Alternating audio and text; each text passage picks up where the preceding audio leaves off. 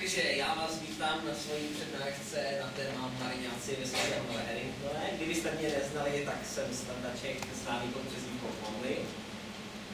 Hej, máš jméno. Představ si, že jo, mám dokonce i tady. A hodnost mám First Sergeant námořní pěchoty. To je eh, v českém překladu dalo jako první nebo starší seržant. Má to hodnost. Netahej sem tyhle ty zvěrstva, jo? Tak, nejprve začnu s sborem královské matikorské námořní pěchoty nebo v originále The Royal Mythical Marine Uh, jestli nám teda zbyde čas, tak se dostanu během prezentace i ke sboru lidové námořní pěchoty Heidnu. Uvidíme, jak rychle se mi to podaří proskákat. Tak, teďka něco o královské matikorské námořní pěchotě. A zkrátka je RMMC. Zbor existuje jako samostatná složka, ale organizačně spadá pod námořnictvo. A velitel sboru, který obvykle má hodnost maršál sboru námořní pěchoty, je podřízený přímo prvnímu vesmírnému lordovi. Mezi odpovědnosti sboru námořní pěchoty patří uh, tvorba výsadkových skupin uh, pro převzetí nepřátelských lodí, protiteroristické výsadky uh, na nepřátelé planety, krom toho slouží mariňáci jako palubní policie. Vlastně, uh, když jsou vyhlášeny na lodi Battle Stations během bitvy mezi loděmi, tak slouží jako opravárenské skupiny a některé, některé lodě obvykle bitevní křižníky a větší mají dokonce mariňáky, kteří jsou kvalifikovaní jako obsluha vůčních baterií energetických zbraní. A samozřejmě, jak už je tradicí u sboru námořní pěchoty, například ve Spojených státech. Snajpři plachtách. A to snajpři v plachtách. Že by jako tak vyletěli na tom výsadkovém raketoplánu na ty varšavské plachty a začali tam rakety. Když je to převzatý od Avíku, z té doby už jsou dávno, to asi tak 2000, 3000 let. A jak je tradicí třeba u amerických mariňáků, tak mariňáci tvoří ostrahu antichorských ambasád na různých planetách, například na Beowulfu a na Staré zemi. Tak. Teďka když vám řeknu něco o organizaci. Primární operační jednotkou Zboru námořní pěchoty je Prapor, a vlastně a většina větších lodí, jako jsou bitevní křižníky a lodě bojové stěny, mají přirozený právě prapor. Nejvyšší stálá jednotka obvykle tvořená je kruh. A 10% praporů mohou tvořit úderné prapory, což znamená v podstatě to, že to jsou prapory, kde veškerý personál je vybaven bojovým pancířem, a aby se to odlišilo od tradiční organizace, tak ty prapory mají za jejich označením písmeno A jako SAO Battalion. A když uh, mariňáci jsou banda pár správných chlapů, tak 30% personálu Královské matikorské námořní pěchoty tvoří ženy.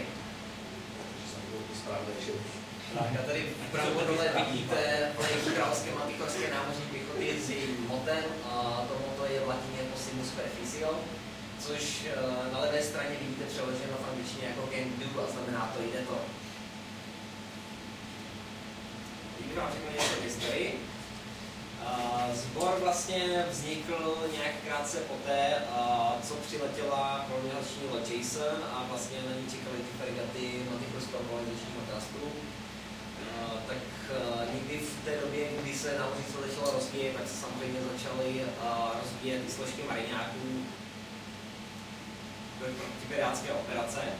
A bohužel v roce 1665 došlo k nesťastné události, kdy sbor námořní pěchoty byl sloučen s královskou armádou. Co to stalo?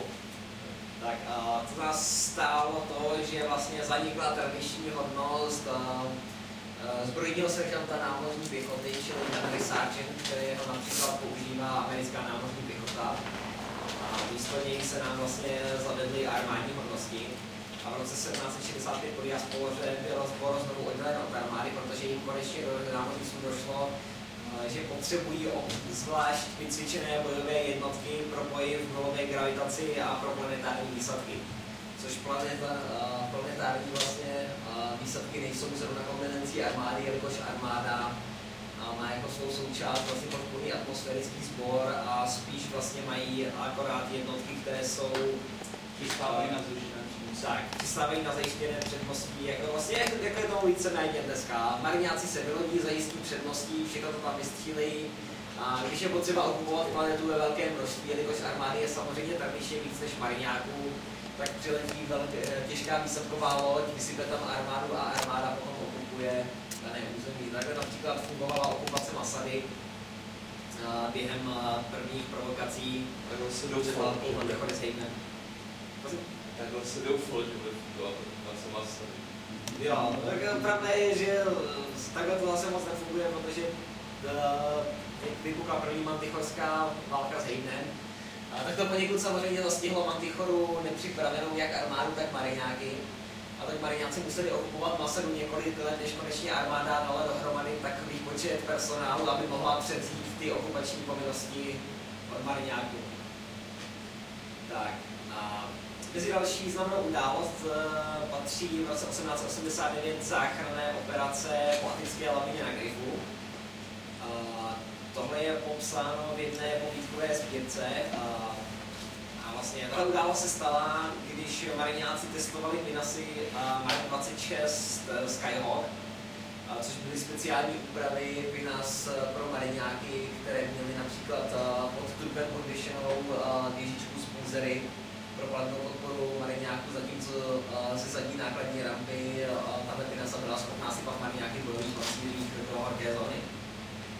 A operaci na záchranu přeživších eh, v té atické lavině tomu velela komandér poručík Honor Henriknová. To je velice dobře známé. Tak, mezi další významné události v roce 1900 po diaspoře patří postavení voleného postavení na planetě Medusa v soustavě Pazelišek. Já tomu říkám bitva po termopil po mariňácku. uh, protože uh, vlastně, jak víme, uh, Haven vyprovokoval uh, domorodce tím, tím, že je nechal... nedokázalo. Nedokázal se to, ale všichni to vědí. Je to veřejné tajemství. A je to takové veřejné tajemství. Masakr na druhu. Je. Uh, Haven dodal uh, drogy domorodým uh, domorodcům. Uh, to, to vyznělo, Což by nikomu nevadilo. Což by, což by nikomu nevadilo, kdyby jim k tomu nedodali i palné zbraně a nenaučili je vyrábět. A jelikož na Meduze vlastně sloužila akorát um, nějaká organizace, která se jmenovala Native Protection Agency, která byla vlastně akorát něco jako chudší policejní síla, která vlastně měla dohlížet na mírumilovné vztahy s těmi domorodci a aby vlastně nebyli ovlivňováni tím, že na té planetě se nacházely obchodní enklávy několika mezihvězdních korporací. A hlavně, aby jak ty správně vypadávali, aby skurvený lidi z mimo, ty chudáky meduzami nevykořistěvali. Jistě a neprodávali jim za, za korálky budu po desítkách akrů, jak to známe. Já si stejně myslím, že námořní pěchota upodplatnila lidáky, aby těm meduzanům dali druhou slavnou, když jsem četl knížku. jak to vlastně probíhalo? Probíhalo to tak, že se najednou zjistilo, že ty těch meduzanů je několik desítek tisíc a jsou skoro všichni ozbrojení, tak jelikož samozřejmě na to ta NPA nestačila vzhledem k tomu, že největší high-tech vojenská výzbroj u nich eh, byl klasický nepoháněný tělový pancíř, který ty pušky dokázaly prostřelit, protože za ní byly poněkud trošku větší než normální lidi. A tak ta puška pro ně byla takového kalibru, eh, že klasický eh, pancíř bez aktivní ochrany to prostřelil, jako když projde muž máslem. Takže Honor Henningtonová tam nechala nasadit rotu námořní pěchoty z jiného křižníku HMS Pivas. Ono to bylo trochu problematické, no. ten pancíř, co měli, eh, byl skvělý dělaný na vysokorychlostní zbraně, ale oni používali zbraně, u jejichž munice se v podstatě pohybovala až ničím tempem, který neměli dost energie na vytvrzení toho pancíře. Si dáš pozor, to je takovou střelu Takže uh, Honor tam nasadila vlastně mariňáky v síle roty z křižníku neohrožení a Fearless a bylo to vlastně tak, že tam vysypali jak mariňáky v klasických eh, ochranných balistických skafandrech, tak i uh, myslím četu námořní pěchoty, která byla vybavená velkými pancíři a těžkými zbraněmi.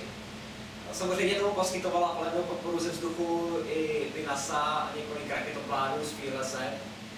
Tři Pinasy tam Tři Pinasy. Oni, oni měli Pinasy. A, a Předtím si pamatuju, ona mezi tím bojovala s tou nuklear lodí. Ano, ona mezi tím bojovala Jo. uh, s nuklear lodí třídy Astra. Že, že, že mě, mě jsem, jsem to přemýšlel, proč vlastně mě poslali válečnou lodí, nebo cykla. Válečnou lodí poskytovat pozemní podporu je docela problémový, přece jenom ty to- zbraně a zbraně, který má válku docela Tak, nebezpečný trefovat cokoliv na zemi. No, Takže vlastně nejvíc, tam, zaujali pozice uh, na nějakém průsmyku, kterým ty meduza nemuseli projít. A vlastně rozmístili, rozmístili si tam trojhlavňovky a plazmovky na hřebeny s mariňákama s bojovým pancířem tak, aby jim vlastně nikdo nepronikl a chytili je v tom průsmyku, potom tam na to typy asi začali házet kazetové bomby a výsledky bylo několik tisíc mrtvých domorodců, ale díky bohu nedošlo k žádným ztrátám na civilních životech v těch enklavách. Tak a další nasazení mariňáků bylo v roce 1903 pod Diaspoře, to byl úder a, na základě Egbert v soustavě Jelcinu. Tam opět byl oddíl námořní pěchoty z k- šižníků HMS eh, Fearless a, je, a z torpedoborce HMS O. Eh, Úkolem této, a tohoto úderu bylo osvobodit zajaté příspěvky námořnictva zničené lodě HMS Medical. Eh, Operace byla úspěšná, bylo osvobozeno 19 eh, z původního počtu 53 přeživších z lodi HMS Medical. A bohužel z 25 žen v řadách zajatců se osvobození základně dožili pouze dvě. Vzhledem k tomu, že základna byla vedena fanati, fanatisty, fanatiky, a, takže se zrovna k těm ženám nechovali nejlíp. Tak, a v roce 1920 eh, byli mariňáci tomu nasazeni eh, při úderu proti bunce Freedom Alliance of Kornaty eh, na planetě Kornat v jízdotupě Talbot, soustava Vredeno. Eh, Protiteroristická eh, protiteroristická operace fungovala vlastně tak, že z Pinas byli vysypáni mariňáci v bojových pancířích na antigravitačních padácích a ti vlastně spadli a, na základnu té Freedom Alliance of Kornaty, kde vlastně bylo podezření na to, že jim síly ze zahraničí dodávají moderní zbraně, které by vlastně mohly ohrozit jak ty domácí policejní síly Kornatu, tak i jejich armádu, protože Jezdoku Talbot patří mezi klasické okrajové soustavy solárního svazu. A, takže vlastně to vybavení tam bylo opravdu žalostné, na žalostné úrovni oproti solariánské technologii, hejvenské technologii, mantikorské technologii. Tak samozřejmě zjistilo se, že ty zbraně tam byly. Bohužel tahle operace stála život dva mariňáky, i přesto, že všichni byli vybaveni bojovými pancíry. A taková vtipná, historka, jak k tomu došlo, je to, že jednoho kreténa z těch teroristů napadlo, jelikož ještě ne, nebyli vycvičeni na ty moderní zbraně, tak je napadnul takový úžasný nápad, že na dva mariňáky na druhém konci chodby v podzemním bunkru v bojových pancířích střelí na, na, naprosto nechráněný kombinéze plazmový granát. Fungovalo. Fungovalo to, ale se spamatují a 50 dalších teroristů, co byli v té části chodby. Takže fungovalo. S moderníma zbraněma opravdu není sranda. Tak, teďka něco o významných osobnostech mantichorské námořní pěchotě. Máme tady Sira Anthonyho Legriho, a, což je bývalý plukovník královské mantichorské námořní pěchoty a velvyslanec na planetě Grayson. Jsi trochu sen, ne? S tím třetím. Co? Denver Somerville? No to je nechvalně známý mariňák. No. On byl mariňák. A je to významná osobnost jako v rámci knih. Byl propuštěn lezecky. Tak, Zvor na něj zapomněl. přesně, jsem spíš řekl. tak. Richard Maxwell, a to je bývalý poručík námořní pěchoty, eh, mimo jiné je to držitel Mantikorského kříže za orlovou palmou a také je to současný právník podle Harringtonové. Eh, Další nechvalně známý Denver Somerville. Eh, Denver Somerville byl kapitán námořní pěchoty, ale byl potupně propuštěn eh, ze sboru námořní pěchoty poté, co zavraždil eh, na zakázku v souboji poručíka Terstna. A potom, co ho propustili, tak se z něj stal na plný úvazek na jiný duelant a také je to Drach Paul Tankersley. A nyní ty příjemnější mariňáky, kteří jsou ještě v službě. To je Tomas Santiago Ramirez, ale Marie Tomasito. Uh, Tomas je syn Jesus Ramireze, což byl uh, komodor námořnictva San Martinu. Uh, díky hrdinství jeho otce vybránil uh, vlastně soustavu Drevorové hvězdy proti Hybnu, aby mohli cyklisté utéct, tak Tomas se dostal do Matikorského hvězdného království a tam vstoupil do služby jako důstojník u námořní pěchoty. Na chvíli, kdy nastal jeho čas. Na chvíli, kdy nastal jeho čas. Uh, vlastně sloužil nejprve jako major uh, u oddílu námořní pěchoty na HMS Peerless na tom těžkém křižníku. A je to zrovna on, kdo vedl pozemní úder uh, na tu základnu Blackbirdu u Jelcinovy hvězdy. Později byl povýšen na podplukovníka a opět sloužil s Honor Heriknovou v oddílu námořní pěchoty na, křižní, na, těžkém, na, na křižníku HMS Nike. A v současné době je brigádní generál a slouží jako velitel pozemních sil námořní pěchoty na znovu osvobozeném San Martinu. Z konců jméno Ramirez je na San Martinu velice známé, takže bylo jasné, kdo tuhle tu funkci může asi tak dostat, aby to bylo politicky korektní. Pak tady máme Susan Hipsnovou. Susan Hipsnová jako dítě přežila tu lavinu v Atice, eh, kde jí vlastně Honor Harringtonová z odděle námořní pěchoty z těžkého křidníku HMS Broadsmont zachránila. A pár let poté vlastně vstoupila do sboru námořní pěchoty a sloužila jako kapitán opět na oddílu námořní pěchoty Fearless. A mimo jiné se také účastnila. Já to je taky pravda, dobře, honor z že, že ona ne, že to byla vůbec na práci. A zbytek, že udělali Dobře, taky pravda. Tak, a ta se taky účastnila úderu na základnu Blackbird. Ale znáš to, které vždycky dostane tak do tomu tak, ta se taky účastnila úderu na ten Blackbird a vedla vlastně ten úder v poli díky tomu, že byla zařazená jako velící důstojník úderné roty, čili personálních bojových pancíří. Tak, později byla povýšena na majora a sloužila jako výkonný důstojník Tomase Ramireze v oddílu námořní pěchoty na Nike. A poté byla přiřazena na ozbrojený křižník jeho veličenstva Poutník, nebo Wayfarer, a opět sloužila pod. A v bitvě u Selkerské vlny byla zraněná, přišla tam o nohu, ale jí samozřejmě byli díky regeneraci schopni nechat zhruba dorůst. Další významná osobnost je Iris Babcocková, ta opět sloužila s Honor Reitnovou na Fearless. A také se účastnila úděru na základnu KOS. Sloužila tam vlastně jako Gany, uh, nebo nejvyšší podůstojník uh, toho detachmentu pod toho se ta, ta, ta hodnost, kterou nemají. Uh, ano, ta hodnost se zrušila, ale od uh, té doby, co se zbor vlastně zase znovu oddělil od armády, tak ta hodnost není, ale je tradice, že nejvyššímu podůstojníkovi, co velí nějaké jednotce na křižníku, super dreadnoughtu a podobně, se přezdívá Gany.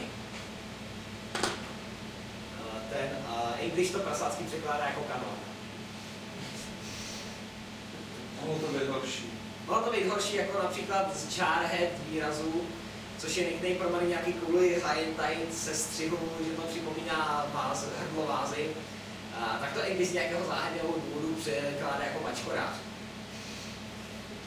Já teda za boha nedovedu vysvětlit, jak na to mohl přijít. Já jsem to slyšel někde jinde. Možná to slyšel od někoho, ale neříkal si tak pešáků, vás za vás. Kromě Bigošů. No Bigoš to je klasický americký výraz grant, takže to je něco jiného.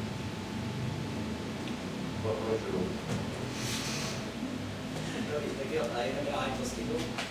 Dobře, Aida Beckottová sloužila, když se naposledy objevila v knihách jako vrchní seržant vodní námořní pěchoty na HMS Prince Adrian. A mimo jiné je to taky manželka Syra Horese Harknesse, který strašně nesnáší majňáky. Nesnášel. Dobře, nes, nesnášel, pral se s ním, ale žena mu to pak zakázala. Že mu to zakázala, tak, tak ještě neznamená, že nesnáší. Tak no, poslední významný variant, co se objevil v knihách, objevuje se tam eh, ještě stále, tak to je Mateo Gutierrez. Mateo Gutierrez sloužil jako seržant pěty, vozil námořní pěchoty na HMS Gauntlet.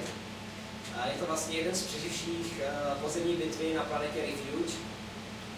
Kde se vlastně tohoto boje účastnila i Abigail Higginsová a momentálně je přeřazen, byl se ctí propuštěn ze sboru a byl přijat jako poručík u Owenské místodržitelské gardy a slouží jako osobní gardista Abigail Higginsové.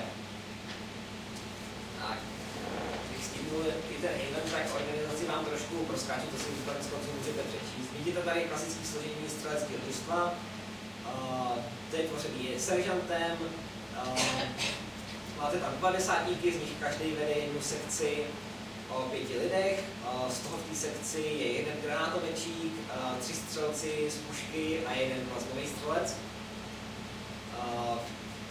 Četa je složená ze třech družstev a je doplněná o štáb, který vede poručík. Má tam jako staršího průstojníka přiděleného seržanta Čety, mají tam jednoho písaře a jsou tam přiřízení dva Sigbert etendenti od námořnictva, kteří slouží jako kormeni.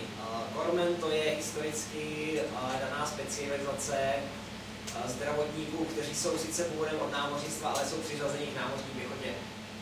To je další z historicky daných věcí. Armáda má třeba vlastní zdravotníky, ale mariňáci měli vždycky přiděleni, přiděleni kormeny, kteří sloužili u námořnictva. Tak, tady máte vyšší úroveň, střelecká rota. Střelecká rota vlastně už má asi nějakých 140 lidí.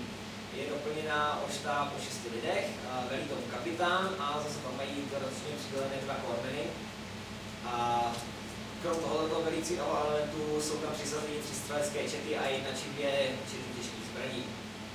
Pak tady máme rotu těžkých zbraní, ta je tvořena kapitánem, zase štábem a mají tam přiděleny tři čety těžkých zbraní. Četa těžkých zbraní, to se vlastně uh, skládá ze čtyř, čtyř družstev těžkých zbraní od každého druhu. Mohou to být uh, družstva s trojhlavňovkami, plazmovkami, střelami země, vzduch, minomety. To družstvo může být 10 až 13 lidí, uh, protože se liší personál potřebný na ty zbraně. Je to až 6 až 10 mariňáků na jeden typ zbraně. A nyní konkrétně známo, uh, kolik je potřeba na co. No, mít známou, kilometr. No ale, fakt. A vpravo vlastně vidíte Pinasu Mark 28 a obvyklý složení výsadků na úrovni roty. Tak, tady máme vyšší úroveň. Vpravo vidíte stromeček, jak se to všechno skládá hezky po třech či po čtyřech úrovních. A tohle, co tady vidíte, rozkreslený prapor. Jak vidíte, prapor se skládá ze třech eh, střeleckých rot, jední roty těžkých zbraní a dodatečně může být doplněn o údernou rotu, což je rota, kde máme nějakých 140 mariňáků, z nich jsou vybavený bojovými pancířema. Tyhle ty prapory jsou docela vzácný, obvykle se dají najít jenom na mariňáckých výsadkových transportech nebo na podpůrných křižnících, případně až na nejmodernějších lodích bojových stěny.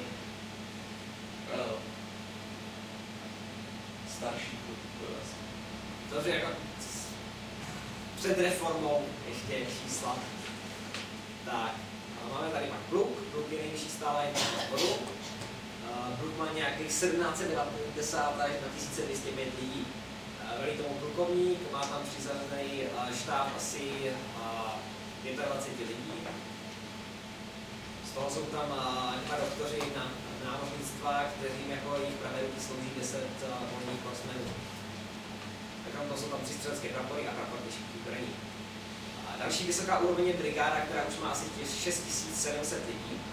Velí plukovník, jako výkonného má podplukovníka. Je tam opět přisazen nějaký štáb, tentokrát už o 41 lidech. A brigáda je obvykle složena ze třech klubů. Nejvyšší úroveň, co sbor vlastně vůbec má v inventáři, tak to jsou divize. Divize je tvořena třema brigádama, veleb generál major a jako výkonného důstojníka má plukovníka a štáb je rozšířen na počet 53 lidí, včetně výrazného množství zdravotnického personálu. Byla nějaká... na, na danou situaci tak, a pak se rozpouští. Přesně tak, jenom ano. Ještě jsem chtěl říct, eh, armáda má velikost jako praporu, jako je tady Newton. Jirku. myslím, že... Já myslím, že to by měl odpovídat u armády, akorát armády je víc. No jasně, jako organizačně, ale jako velikostně, velikostně daleko větší ten klub u armády. Jo? Mnohonásobný. Je to možný, já o armádě... Na konci obsazoval třeba Ruzeny, tak měl sílu asi 2000 mužů. Přes 2000 mužů paragraf. Prostě družstvo, standardní družstvo vejvalo 12 lidí. Hmm. Ale družstvo bylo 5-6. Takže je pravda, že i u americké armády má vlastně armáda má sice jako menší ty, má menší družstva, že oni mají menší team, oni lidech, ale zase je fakt, že oni uh, to skládají dohromady do těch jejich task force a podobně, takže to vlastně na ty jako případy má víc lidí, než je vlastně standardní jednotky námořní pěchoty, ale ty historicky daný tím, že mariňáků je méně a vlastně nejsou potřeba nasadit v tak velkém množství, že sbor potřebuje vlastně menší jednotky, které jsou schopné rychlé reakce a vlastně pružně reagovat na situaci v poli oproti armádě. Dá se tam prostě někde vysypete strašné množství a pak to všechno projede. Právě proto ten začátek, že, že prostě Marina naskáče, dělá, dělá předpolí, tam se teprve vylodí, vysype se tam teprve armáda a tam teprve válčí dál. No, přesně tak. No. Byl v univerzu nějaká uh, operace námořní pěchoty na divizní úrovni, nebo v Honorverzu na divizní úrovni, myslím, byla maximálně ta okupační Masady, ale, ale nejsem si jistý. A to je spíš takový, že prostě zpráva velký oblastní než, než nějaká bitva. No, přesně tak. Jako nějaká bitva, kdyby Mantikora začala sypat celou divizi na povrch planety, to sbor nikdy nepraktikoval, že to není zrovna dobyvačná velmoc u Havenu mám potom na slidech právě výsadkový transport, který je dělaný na to, aby na povrch planety vysypal divizi 20 000 mariňáků. To vám pak ukážu, to se vám. Tak, to trošku zrychlit. Něco o, o, o důstojnicích. Důstojníci jsou samozřejmě dobrovolníci, jsou na lodích námořnictva podřízení jejich velících důstojníků na lodi. Na křižnících, na křižnících slouží obvykle rota, který velí kapitán. A zajímavost je, že na palubě lodi je označován kapitán jako major.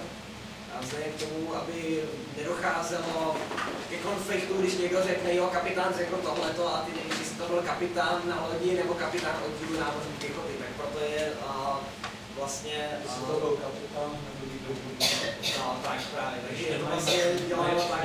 Když tam mají ty mariňáci ještě majora, tak ten je taky posunutý, nebo tak mají prostě no, na major už ne, je to tak, že na lodi nemůže být, je, nemůže být, nemůže být dva kapitáni. Major, když na major podplukovník, to už je v pohodě, ale kapitán tam prostě je jenom jeden. Musí být jasný, který kapitán to je. Takže to si ten lodní kapitán je někde na úrovni plukovníka. Tak, kapitán, kapitán vlastně starší u námořnictvu je platovou cílu ekvivalent mariánského plukovníka. A pak samozřejmě ještě platí i to samé u námořnictvu, když, když admirál má na palubě ve štábu kapitána, tak se většinou říká komodor. Hmm. Tak, a na bitevních křižnících obvykle slouží opět uh, buď to posílená rota nebo oslabený prapor, velí tomu major. Na lodní bojové stěny obvykle slouží posílený prapor nebo normální prapor, velí tomu podplukovník či podplukovník námořní pěchoty. A jelikož lodní bojové stěny je mnohem méně než je křižníků, bitevních křižníků, torpedoborců a podobně, tak se vedou docela velké bitky o to, kdo bude pozvýšen do hodnosti plukovníka nebo majora, nebo případně i brigádního generála, což je nejvyšší stála hodnost na operační úrovni námořní pěchoty. Jsou tam vyšší hodnosti, ale to už jsou štábní hodnosti, kde je člověk vlastně přiřazený na nějakou administrativní funkci, kde, kde je třeba papírově vedená ta brigáda, kterou je nějaká ta jednotka součástí, ale je to vlastně akorát ten velitelský element a ta jednotka není nikdy dislokovaná pohromadě. Tak, tady máte uniformy. Asi netřeba představovat, je to skoro to samo, co jsou uh, uniformy námořnictva, akorát s tím rozdílem, že je to kombinace černá a zelená, je u nějakou tradicí. A místo výležek to má vlastně jednoduchý nárameníky, jako jsou vidět na klasických armádních nebo mariňáckých uniformách v současnosti, kdy důstojníci na tom nosí a napíchnutý hodnosti, které se tady nosí ale ty samý i na Němci. Krom toho vlastně na konci nárameníku je to ještě doplněno po vzoru britské námořní pěchoty s ponou s písemi RMC. Uh, britská námořní pěchota v současnosti tam má RMC a další složky, jako jsou třeba Rifles nebo podobně, tam mají vlastní spony s vlastními zkratkami jejich jednotek. Podobně, uh, bylo někde řečeno, jestli v boji ty hodnostní označení fungávají, nebo ty hodnosti jsou uh, vyznačeny na armorech i na skinsuitech. Jo.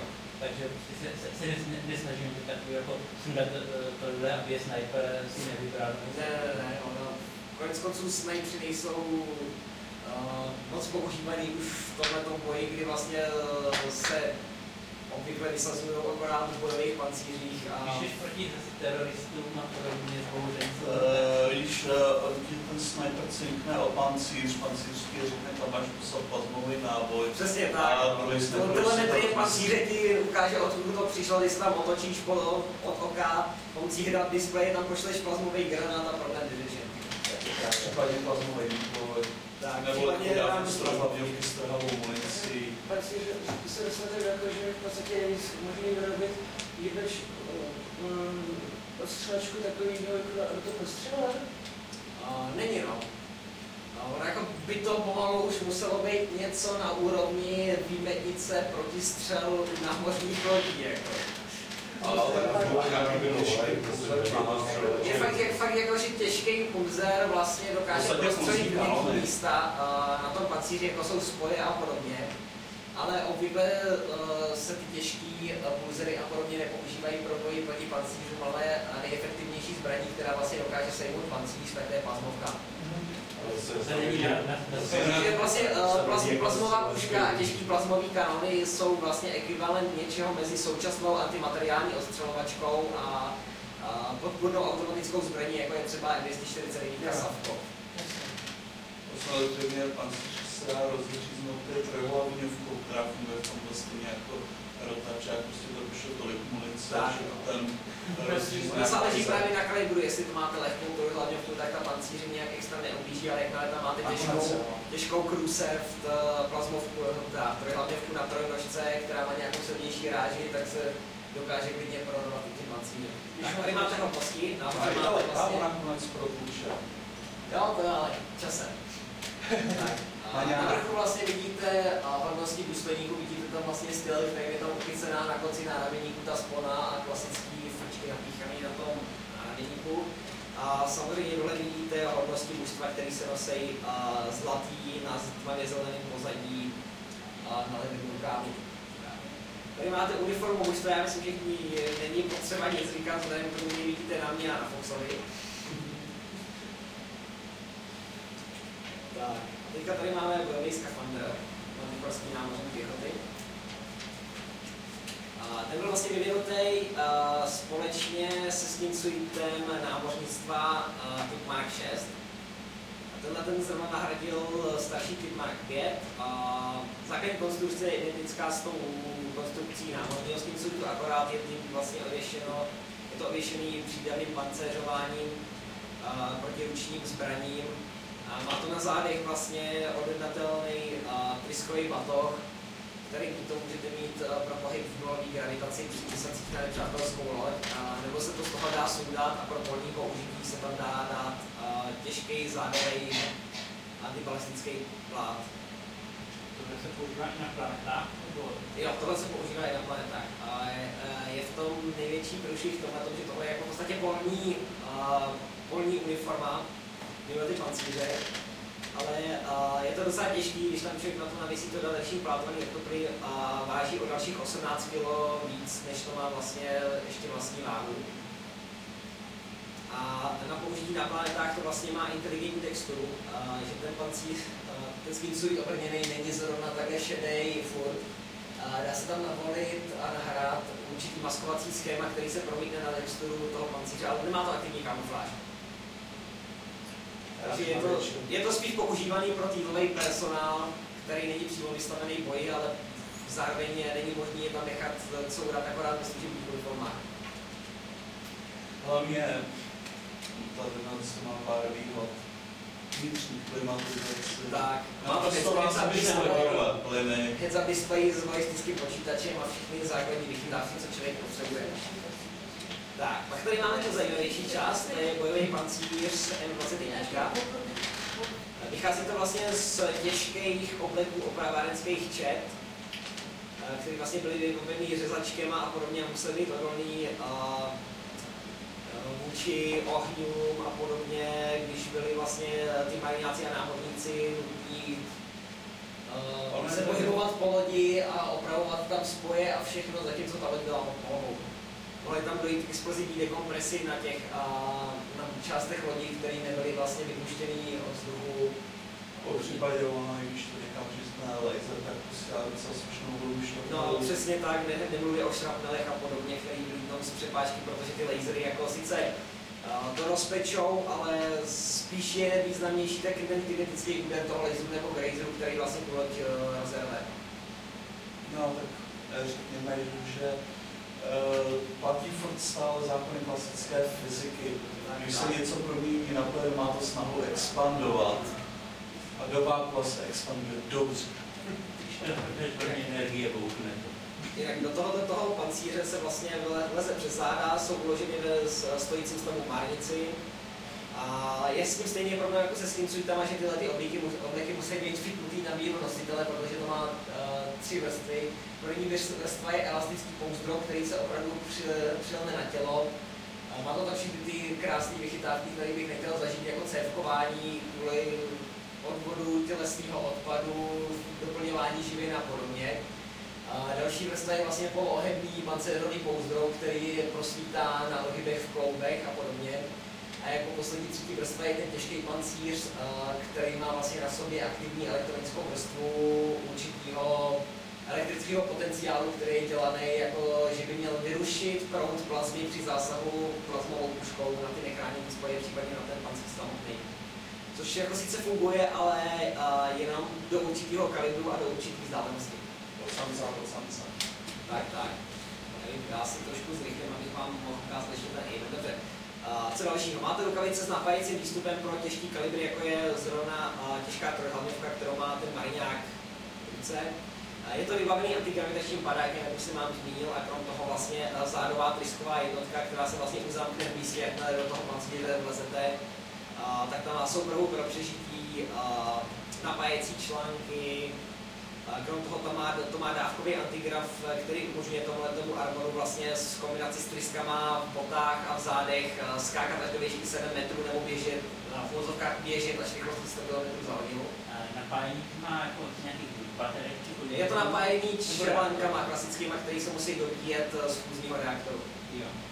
Že vlastně, když je tohle, tahle jednotka eh, vysazená někde v boji, tak pokud se jedná o nějaký další intenzivní fight, kdy potřebují těžký kalibry a ta zbraň vlastně žere šťávu z jejich armoru, tak se tam musí spinasy vyházet někde po cestě refuel pointy fuzních reaktorů, který, ze kterých vlastně oni můžou čerpat šťávu, aby jim ten maciv nějak vydržel. Čili někdo zajímavý, že s náhradníma Přesně tak. No. A má to vlastně vlastní systém i elektronického boje, může to střílet dímovnice, rušení, všechno, všechny tyhle ty vychytávky. Má to aktivní kamufláž, která vlastně má obnovovací frekvenci, Bohužel nemám tu obnovovací frekvenci, ale to by se mám u hereckého armoru. Prostě má samozřejmě systém pro odvádění odpadního tepla, aby je to zamaskovalo tepelnou signaturu toho armoru. A vytrvalost je 4 až 50 hodin, je to tak, že 4 hodiny je úderná kombinace, kde vlastně nesete co nejvíc těžkých kalibrů s největším množstvím munice na úkor těch uh, napájecích článků. Takže můžete 4 hodiny držet intenzivní fight, je to akorát takový, že vás tam vysypou, vy to všechno vystřílíte a potom vás musí zase stáhnout a nahradit vás uh, podporným personálem bez tím, 16 10 hodin to je průměrná výdrž, dají se tím míst lehký trojhlavňovky a podobně a 50 to je průzkumná konfigurace pro průzkumní jednotky, kdy vlastně je veškerý ten bagel toho armoru nadspaný napájecíma článkama a v ruce se akorát nese klasická ruční pulzní puška s nějakým lehkým množstvím munice. Tak, tady máme Ferry. Tak, vidíte tady vlastně pulzer M7 vpravo a pulzer M9 vlevo. Je to vlastně pod tom kontraktem dodávaný civilní buzzer MTB39. A rozdíl mezi nimi je, že M7 je 12 cívková verze a M9 je 9 cívková, která má vlastně nižší ústěvou rychlost a dá se je používaná spíš na shipborn kontakt, takže na boj malých prostorech při osazování lodě, zatímco ta M7 je používaná spíš pro nasazení někde na planetách. Má to ráží 3x24, střílí to solidní uh, pulzerový šipky. A vlastně princip tohoto toho je vlastně stejný, jako máte railgun, akorát, uh, pardon, akorát tam nejsou elektromagnetické cívky, ale jelikož v to všechno založené na gravitačních vlnách a podobně, tak ty cívky uh, jsou gravitační cívky. Takže vlastně, uh, jestli tady mám řez, tak tady vidíte, jak to funguje.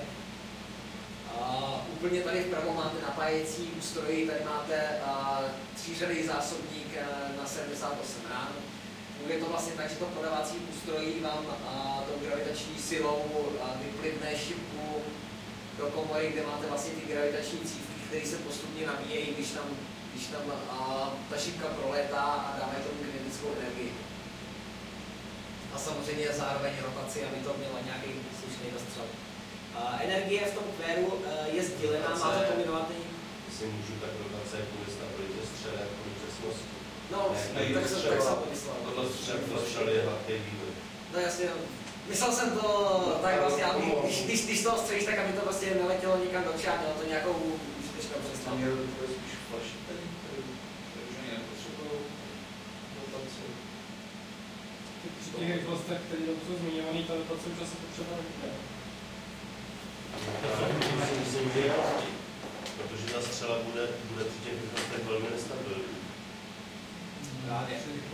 No, Jinak uh, má to kombinované, kombinované články uh, v zásobníku a ve zbraní. Uh, má to v úzovkách závěr, který ale neslouží k natažení zbraně a uvedení toho střeleckého ústrojí do akce, ale je to jenom pro spojení kontaktů mezi napájejícím článkem zbraně a zásobníkem, tomu, aby ta zbraň byla vlastně zajištěna pro uložení zbrojnici a podobně. A jinak uh, zajímavostí těch úzerů je, že i ty pistole můžou střílet jednotlivě nebo krátkýma třídanýma dávkama. Tak, základní kvér Mariňáka je půzní puška M32A1, současně už modernizovaná na M32A5. Střílí to půl šipky, ráží 4x37 mm.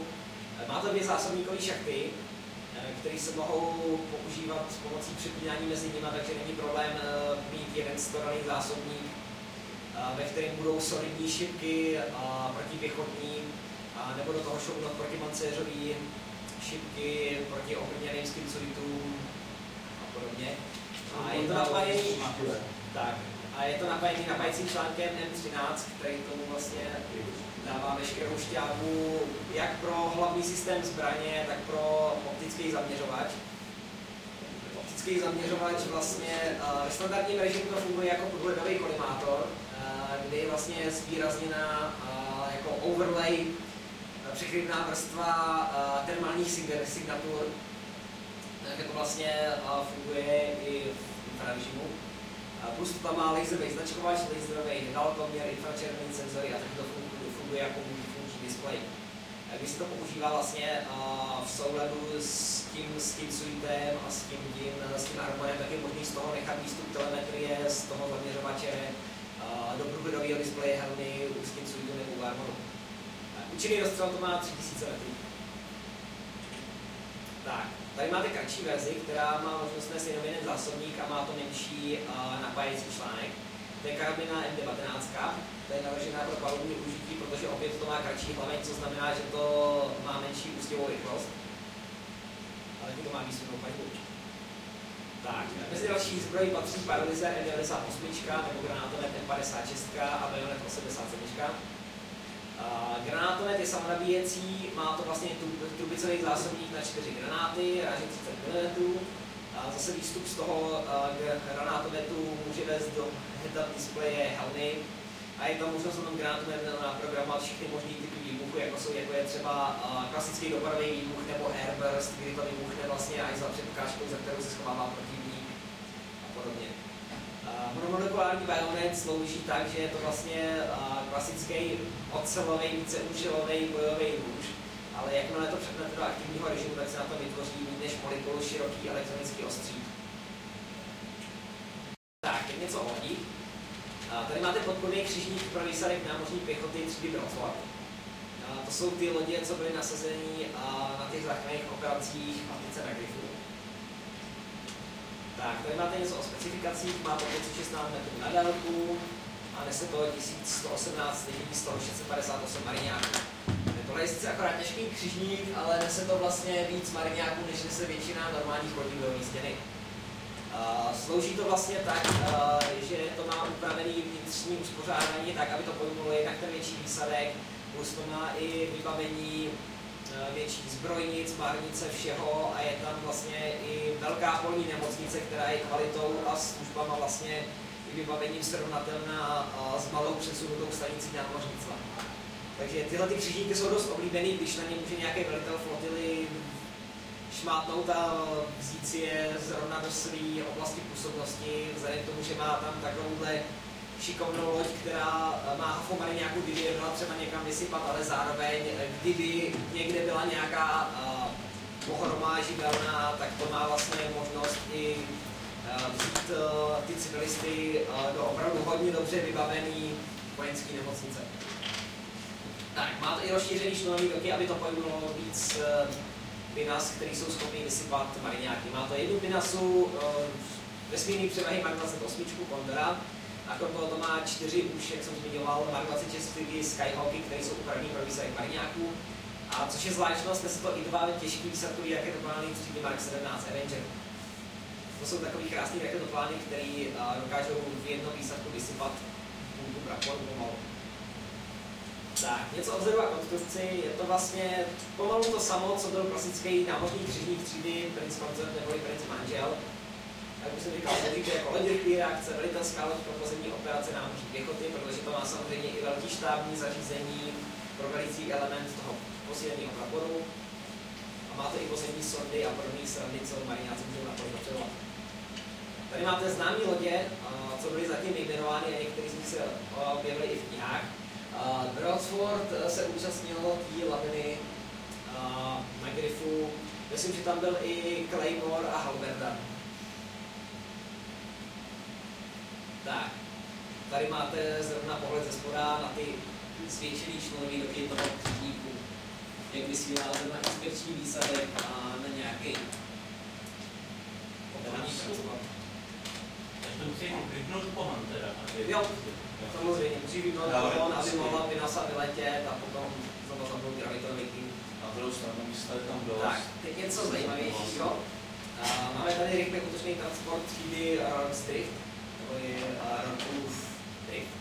Ono se to nepřikládá do češtiny. Je to, v angličtině je to brod. Je to postavený pravděpodobně na, trup, na trupu bitevního křižníku třídy Homer. A ví se o tom oficiálně akorát to, že je to postavený na trupu bitevního křižníku, ale vzhledem k období, jak to vyšlo do služby typu ty Homery, co jsem potom, co jsem koukal na čísla na tom počítače. A co tohle toho vlastně je? Tohle je rychlej výsadkový transport, který je schopný přepravit větší výsadkové jednotky námořní pěchoty a může to nést až plný klub, což je 1790 mariňáků, včetně dalších stran, jako jsou zase pinasy pro vzdušnou podporu a podobně. Tyhle ty nejsou moc vidět, ale víme, že existují, protože komandér, já myslím, Takashi, ten, co byl majitel Samanty předtím, než Jo, Harold Shu, jo. Shu sloužil na jiný lodi to třídy a to konkrétně vidíte uprostřed v levém sloupci HMS. A vlastně všechny tyhle ty lodě jsou pojmenované po a, jak už slavných, tak neslavných bitvách. A, záleží na tom, z čího úhlu pohledu to bylo. Vidíte tam třeba tu Okesan, Phu, Wake Island, Bighorn, Thermopyly, Alamo. Jsou to vlastně všechny bitvy, kde nějaká malá síla stála proti obrovský přesile. Takže všechny tyhle ty lodě, tyhle ty třídy jsou pojmenované právě po těch významných bitvách, eh, kde to někdo někomu ultimátně nakopal, eh, nebo někdo jiný těm, který se hrnice, hrdině bránil, někomu ultimátně nakopal. A pak tady máme těžký útočný transport třídy Guadalcanal, což je mimo jiný našivka naší lodě HMS Iwo Jima. Tohle je těžká výsadková loď, eh, postavená na trupu Super Dreadnoughtu, nejspíš třída Král William, po dva let, kdy to vyšlo z. A nebylo jich moc vyrobených, vzhledem k tomu, že zbory nějak extra nepotřebuje, ale jsou mimo jiné ve službě kdyby něco. A je to schopné připravit planetárních okupačních sil a může transportovat až brigádu námořní pěchoty od 6800 na jednom mariňáku. A krom toho to nese i Perut Steamshipů, což jsou, uh, to jsou rychle manévrující lodě uh, pro čistě atmosférickou podporu oproti Binasám. Uh, myslím, že vlastně někde bylo i zmíněno, uh, že tenhle ten transport může nést i tanky královské armády. Mimo těch steamshipů, které taky spadají pod atmosférickou podporu královské armády. Steamshipy můžou do vesmíru nebo jsou... Nemůžou, musí se nejdřív dopravit uh, že, že prostě používají skutečně vzduch, nejenom mě. Tak, používají skutečně vzduch, ne, mají antigraf a klasický trysky pro pohyb ve vzduchu, nemají, nemají gravitor, nic. Tak, a tady máte známý lodě, co z Londýna vyšly. Je to po, pojmenovaný, jakož to klasický zase marňácký transport, tak je to pojmenovaný po významných oboužívaných výsacích v historii staré země. Máte tady HMS Guadalcanal, Normandy, Incheon, Anzio, Iwo Jimu a poslední, co bylo pomyšleno, tak to je Casablanca. Tak, tady máte Pinasu, má 28 Cordovaru. Co k tomu, já bych měl pomalu končit, takže zase ten jeden klasický by si to nějaké rozdělit na dvě přednášky. A tady máte, co to má za výstroj. Mark 28 není čistě mariňácká Pinasa. Je to dělaný jako v podstatě Pinasa pro vesmírnou převahu. Je to takový provokák letou vesmírný převahy, a pač to má jeden více účelový laser, má 8 ráče 2 cm, a, takže to vlastně dokáže ohrožovat ostatní výsadkové pinasy z jiných lodí a podobně. Krom toho pro pozemní okolo to má, a, nebo případně neozbrojené kvůli členy a podobně. A, pak to má vlastně i dva hlavně pulzní kanony 308 ráče 30 mm a spoustu a má to, má to závěsníky pro kazetové pumy a pro další kryptové zbraně. A má to vlastně měnitelnou šípovitost křídel, v atmosféře to může dosáhnout až Mach 5 a má to třípohonový systém. Má to, jak vidíte úplně vpravo, tady to má vlastně odkrytý prstenec gravitorového pohonu pro let ve vesmíru, než se dostane k planetě. A jakmile se to dostane k planetě, tak to samozřejmě stáhne ochran, ochranný pancéřování okolo toho prstence a předne to vlastně na klasické turbíny prolet v atmosféře a krom toho ještě pro pozicování, když to dokuje u své mateřské lodi, tak to má samozřejmě RCS systém manévrovacích trysek pro nulovou gravitaci. A jenom se ještě to zpátky. A ne, tady nejsou vidět ty výstupy těch RCS. Tak a vlastně má to i měnitelné vnitřní uspořádání, dá se, se z toho sypat uh, Battle Armory v klasickém pořádání, že tam prostě ty Battle Armory stojí v uzavřeném módu dokud nebo vysypaný. Je tam možný vlastně mít sedátka, který se pořádá sklápějí do podlahy, takže tam máte vlastně výsadek karoty námořní pěchoty, kde jedna řada sedí, čapne si, čapne si výzbroj, zvedne se, sedátka se sklopějí, oni vyskáčou z těch dvou průlezů, co vidíte vepředu na pobocích té lodi nebo ze zadní nákladní rampy a vlastně jakmile se ty sedadla sklopějí, tak hnedka další řada za nimi může se vysadit znova a znova a znova. Tak, krom toho to může být i vlastně vybavený osmi podpornýma paletama s napájením pro bojový pancíře, nebo se vlastně ty dveře, co tam vidíte výsadkový, tak nahradit externě přidělanýma různýma kanonama a kromě jiného to má i Medivac konfiguraci, kde vlastně ten vnitřní prostor pro celou rotu se dá uspořádat, takže se do toho leze 54 nosítek, včetně systému podpory života a podobně. Jo, Heavenu mi moc nezbylo teda, tak já vám to akorát projedu. Víme, že Heaven má debilní vzdělávací soustavu, což je věc, kterou se samozřejmě uh, mariňáci snaží zlepšit tak uh, personál uh, v německé námořní pěchotě patří zrovna mezi ty lepší oproti námořnicům, který má opravdu velkou míru nevzdělanosti kvůli tomu, že oni vytáhnou uh, brance, kterým se opravdu nelíbí, že musí sloužit, který se to líbí, některé dostanou, ale zbor je vlastně opět dobrovolnický. Takže vlastně tahle složka má vysoký esprit de corps, díky tomu, že vzhledem k dobyvatným válkám Heinu Mariňáci byli obvykle ta složka, která se na zemi dostala do největšího průseru a tak ty chlapi opravdu museli na sebe spolíhat a ne na nějaký debilní námořnictvo, u kterých eh, jsou rádi, že umějí vyměnit žárovku.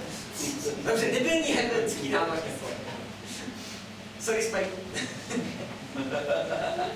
tak, no, tady máte vlastně organizaci, uh, ty hebenský mariňáci jsou založený spíš na tom americkém modelu, takže vidíte, že vlastně máte uh, družstva, ve kterých je jednotlivá sekce, kde jsou dva frajeři s kamalech kejma.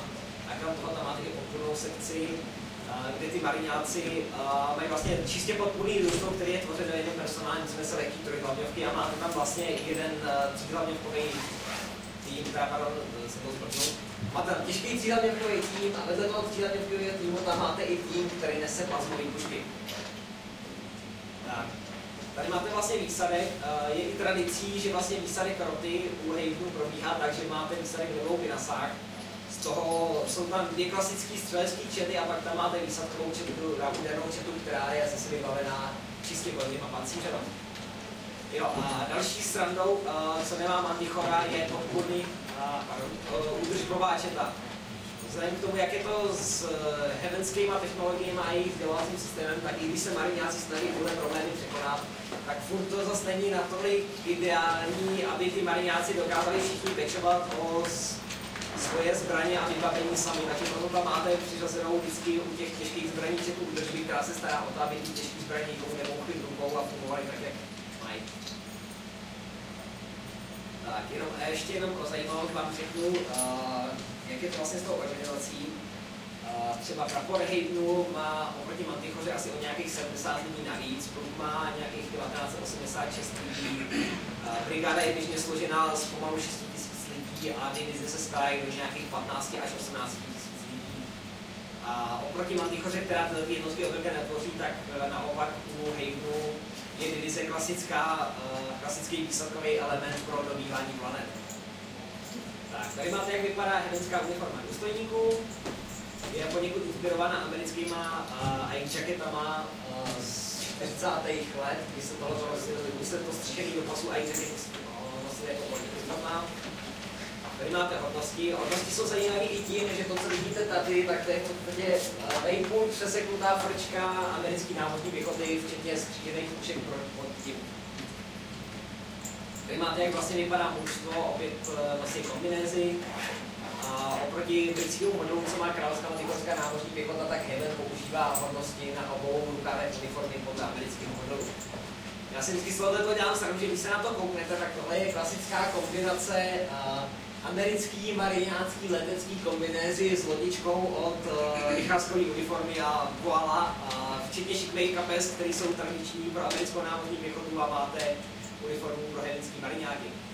Jinak ještě zajímavé jsou ty jmenovky, zatímco Mantichora má klasický pruhy za odsloužený roky, uh, tak nalevo u té jmenovky vidíte diamanty. Ty diamanty symbolizují odsloužený léta, uh, stříbrný je za pět odsloužených chemických let, což je cca 6 standardních let a zlatý jsou 10 let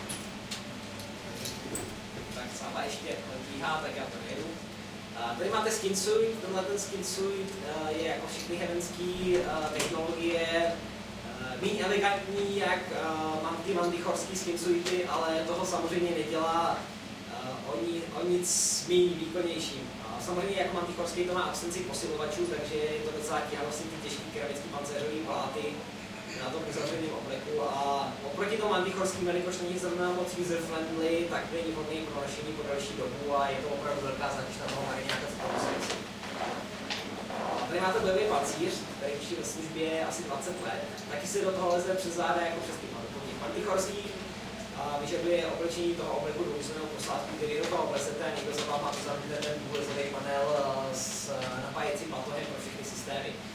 Oproti tomu antichorskému je jenom dvojvrstvej, takže je vlastně méně panceřovaný a méně pohyblivý než ten antichorský. Opět to má aktivní kamufláž, ale a, ta aktivní kamufláž a, není tak dokonalá jako ta mantichorská vzhledem k těm pokrokem technologiím Mantichora versus Haven. A výdrž to má o taky menší vzhledem k tomu, že nemají tak dokonalý napájecí články a má to výdrž nějaký 2 až 4 maximálně tady mám tam jenom přehled, přehled toho, jak... Jo, ano, a Uh, má to soupravu pro přežití a mezi mariňákama uh, jsou známý vtípky z toho, že si každý uh, dělá prdel z toho druhého, co pak si to taháš na kulích, protože ta souprava pro přežití je v tom armoru umístěná v oblasti rozkroku. Pokud jdeš zásahem o tuto soupravu, tak přežít. Ano, přesně tak. Jsou právě umístěna na tom nejdůležitějším místě pro každého mariňáka. Je to obvykle to první místo, které si čeknete, když jste dostali zásah. Takže to povýšili dokonalosti, že jakmile to schytáte, tak si rovnou sáhnete tam, kde, jste, kde si chcete ověřit, že je všechno, co má, a zároveň se rovnou vydat ty oplazy. Eh, tak, tady máte L49 půlní pušku, eh, používá to trochu jiný kalibr, než používá Mantichora. Má to energetický článek, co tomu poskytuje energii na 300 ran. Karence střelby je 600 až 1200 ran za minutu, má to menší karenci než Mantichorský. Ale jenom v režimu třídaných dávek to má těch 1200 za minutu.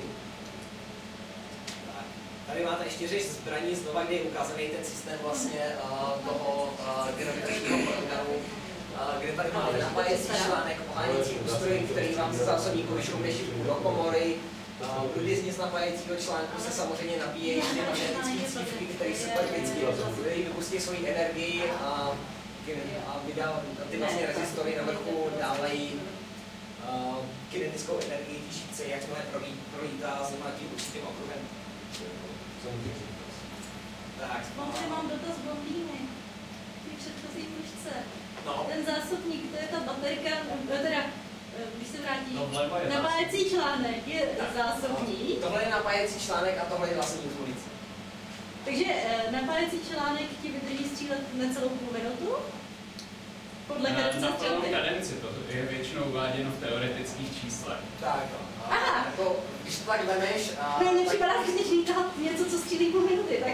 A ono vlastně u těch pulzerů se obvykle nestřílí full auto. Navíc většinou nemáš dost velký zásobník na to, abys to mohla udělat. Jo. Protože jak, jak, jako to má karenci, uh, tak ten zásobník ti zmizí hodně rychle, i když to má teda velkou kapacitní na těch 90 Tesla šípek. Sabo má už to nějak utnout, nebo ještě to máme uh, Já čekám, jestli se ještě někdo objeví a jo, tak já to ještě volně. Dobře.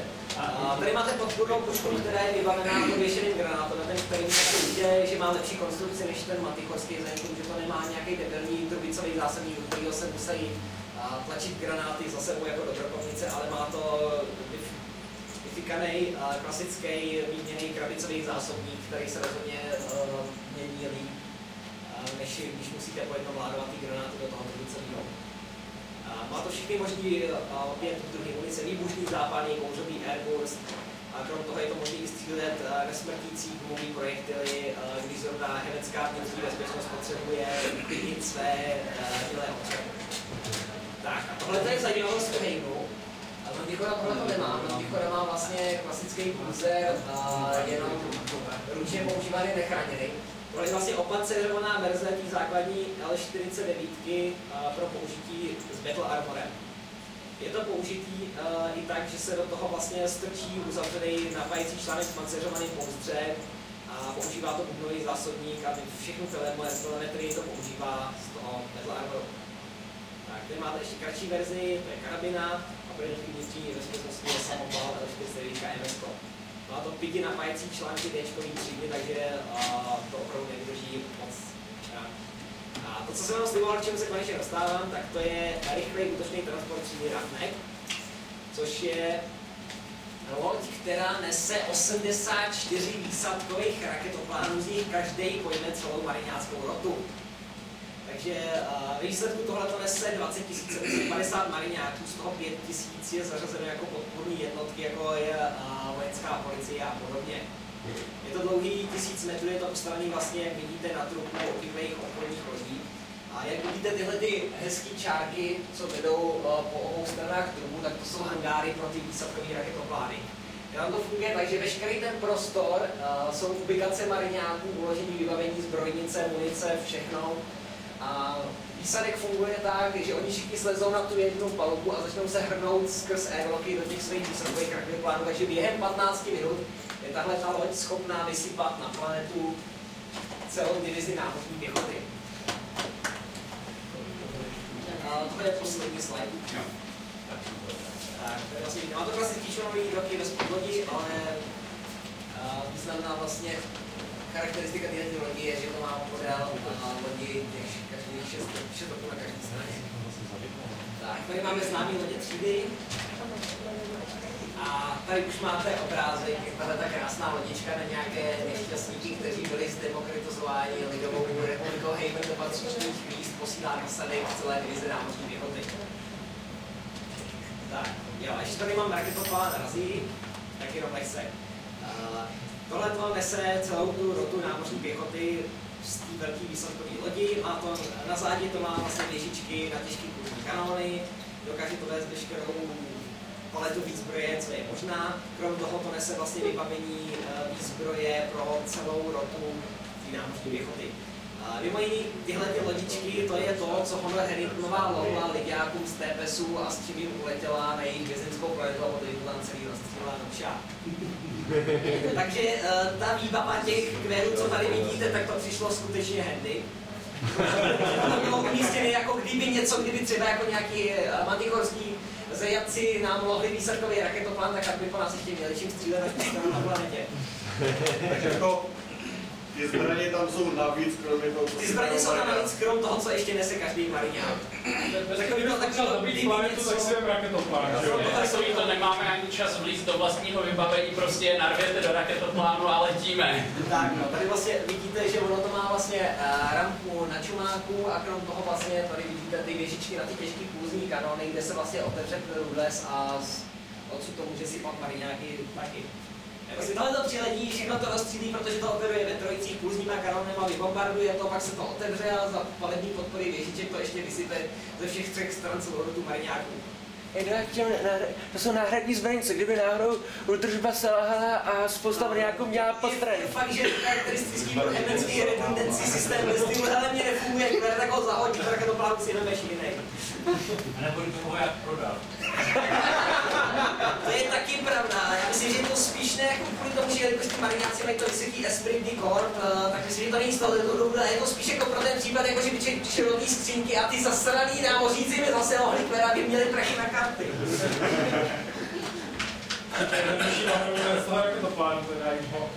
Tak eh, tady máte zase konfiguraci, máte opět na zadní gravitarový prstenec a pro LED a gravitaci už cahuji skoro čtvrt hodinu, takže já vám děkuji za